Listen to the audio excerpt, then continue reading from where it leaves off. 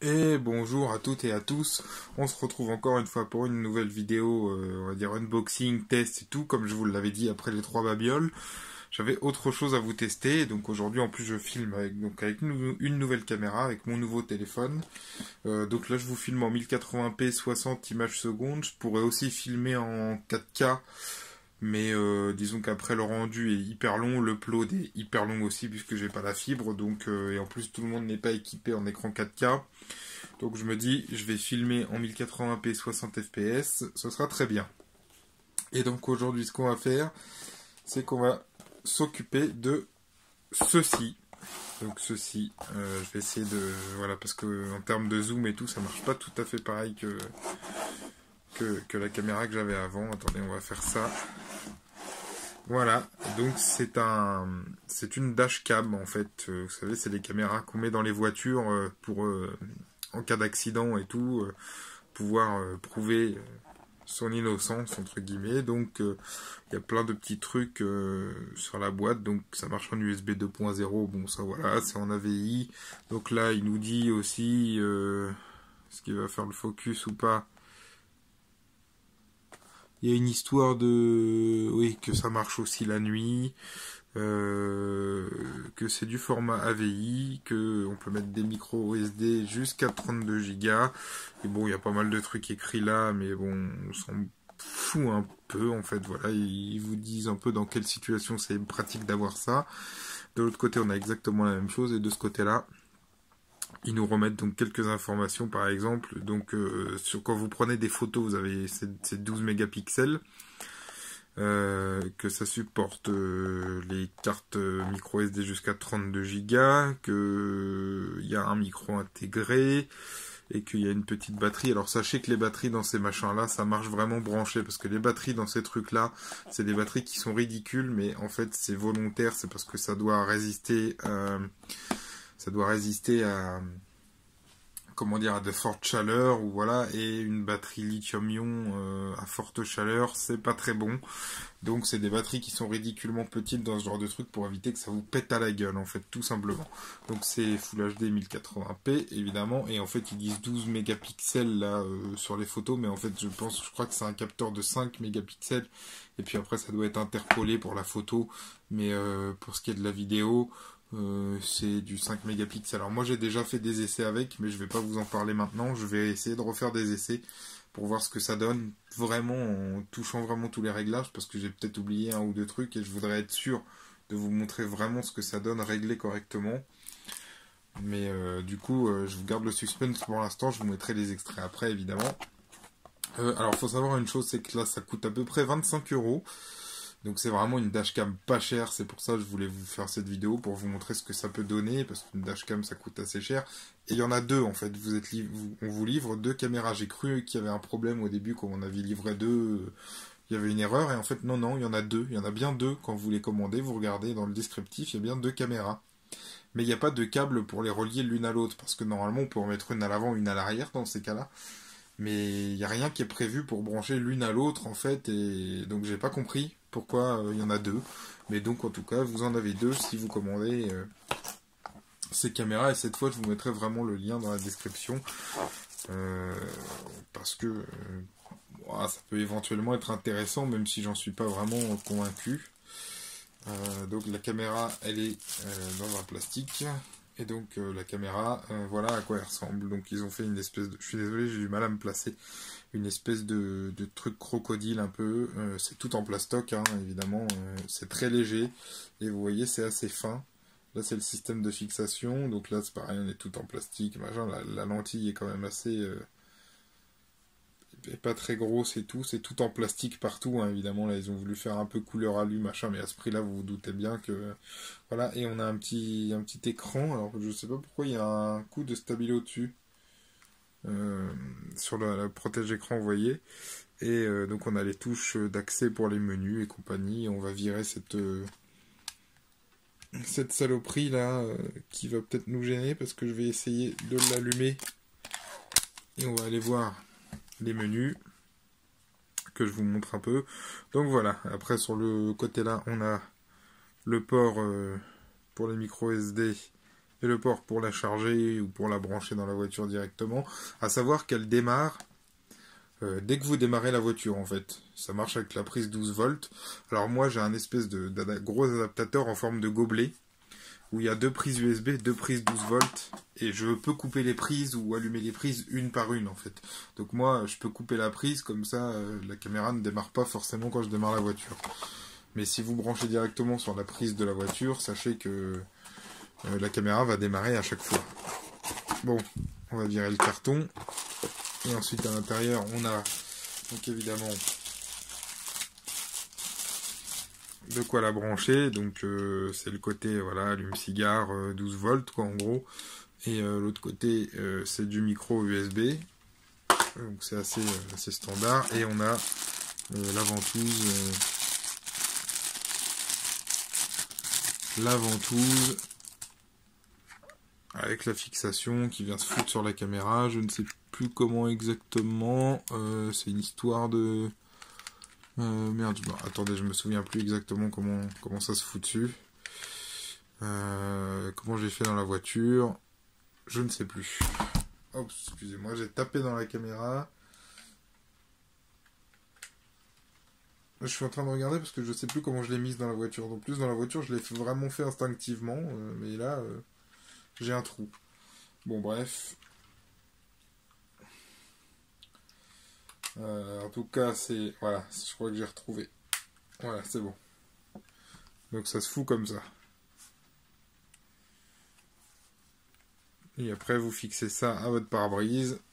Ou n'importe où. Enfin, moi je l'ai foutu au pare-brise parce que ça me paraît être mieux au pare-brise. Voilà. Euh, donc ce que je vais faire, c'est que j'ai tiré un câble là à côté euh, en espérant que ça fournisse assez d'énergie pour pouvoir la démarrer. Voilà, normalement elle doit démarrer. Ouais, bon, ça fait un espèce de... Et donc voilà, on arrive sur la caméra. Donc là, ça vous donnera pas grand chose euh, sur la qualité. Donc là, évidemment, elle me dit qu'il n'y a pas de micro SD. Donc euh, là, euh, on ouvre un menu. Euh, le menu des vidéos, donc on a plus, là et moins là, donc normalement on se déplace, euh, si mes souvenirs sont bons, voilà, on se déplace comme ça, donc on peut, là elle va détecter les mouvements, là c'est la taille des vidéos que vous allez faire, vous pouvez faire des vidéos de 1 minute, 3 minutes, 5 minutes, et en fait ça veut pas dire qu'elle va filmer 3 minutes et s'arrêter. Ça veut dire qu'en fait, elle va couper le fichier toutes les 3 minutes pour vous faire des fichiers de 3 minutes. Vous pouvez enregistrer ou non votre voix. Euh, vous pouvez changer la résolution. Euh, donc VGA 720p, 1080p. Euh, si vraiment, moi, faut que je vérifie, mais si vraiment elle était réglée comme ça dans la voiture, il vaut mieux laisser comme ça, évidemment. et donc on peut faire un retour en arrière. Vous avez donc là, le mode photo, là on est en mode photo. On a un mode euh, pour enregistrer le son, un mode pour regarder euh, ces vidéos qu'on a enregistrées ou ces photos. Euh, et donc en fait, on, passe en mode vidéo, photo, enregistrement de son, et là c'est pour regarder. Et là, voilà, on va passer en mode photo, et donc en mode photo c'est pareil, vous avez un menu où vous pouvez changer euh, là, vous voyez, c'est 3 millions, c'est pas 12 comme sur la boîte. Je savais bien qu'il y avait une arnaque euh, sur la boîte, c'est pas 12. Donc là, euh, voilà ce que ça donne à peu près en termes de menu. Donc c'est pas non plus hyper compliqué, hein, une fois qu'on a compris comment on utilisait le truc.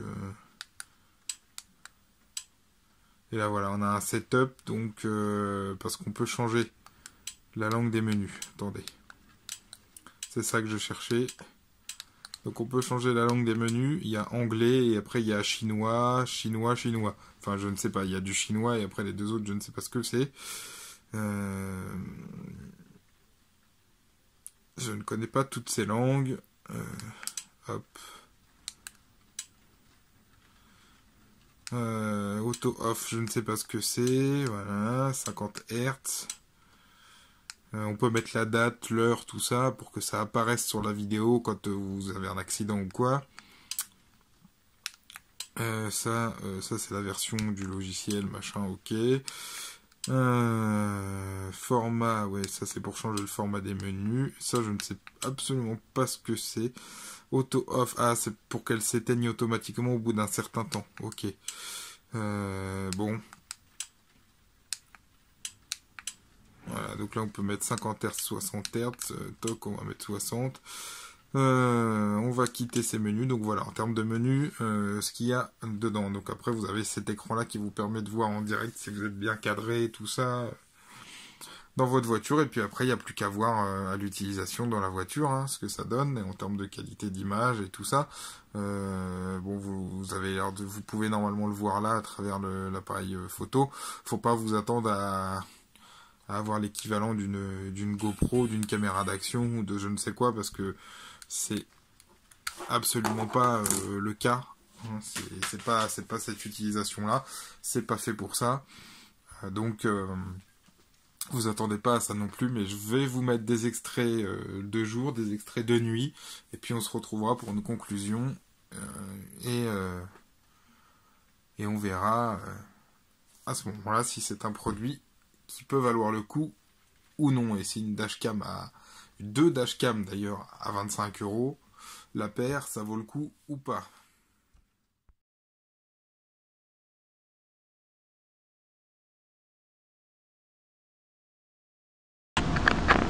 Bon, alors je sais pas si vous allez m'entendre correctement, mais là on va tester donc de nuit. Euh, j'ai pas testé entre deux par rapport à la vidéo en plein jour, donc je sais pas comment ils sont.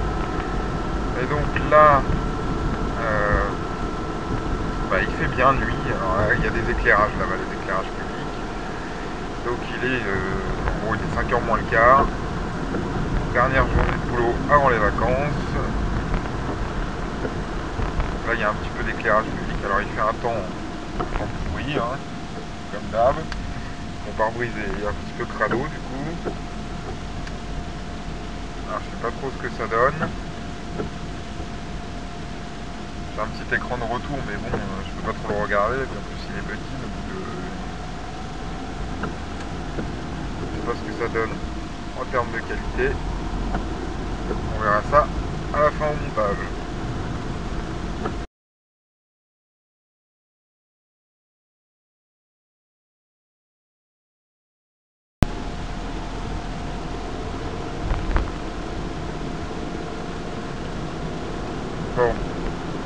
Un temps un peu meilleur là. Toujours pas terrible, mais bon. Donc on va refaire un essai, voir ce que ça donne un peu sur une route où il y a pas mal de bosses.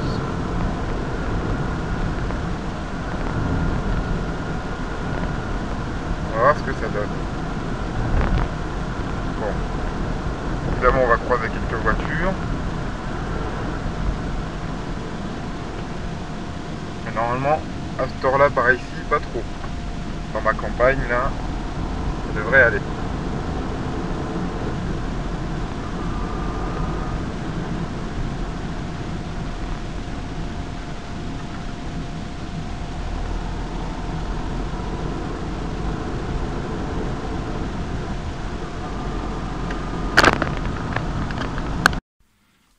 Bon, après ces extraits, euh, j'ai même pas mis d'extraits de photos parce que bon, vous avez vu la gueule des extraits vidéo.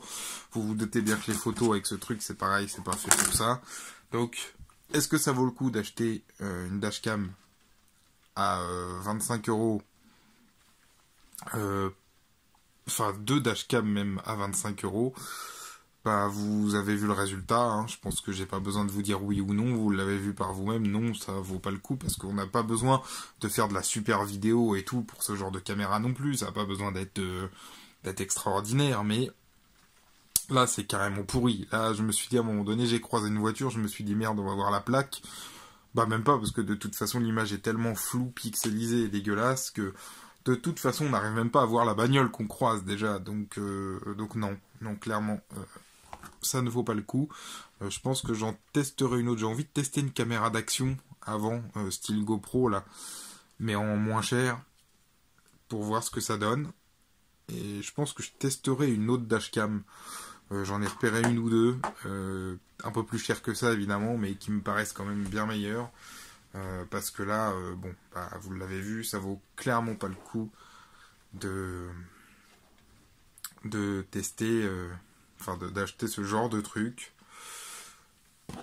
Parce que c'est un petit peu caca, quand même, en termes de qualité. Donc euh, c'est pas grave, on aura essayé. Moi le but en fait quand je fais des vidéos un peu hors jeu vidéo, euh, genre euh, de, produits comme ça, j'essaie de prendre des produits qu'on trouve pas forcément dans le commerce ici, d'essayer de trouver des alternatives moins chères et de bonne qualité pour l'utilisation pour lesquelles on va les acheter. Mais là pour le coup c'est raté pour cette fois. parce que c'est pas beau. Tout simplement, c'est c'est horrible, c'est catastrophique. Donc écoutez, euh, on se laisse là-dessus. Je vous dis à la prochaine. Salut à toutes et à tous.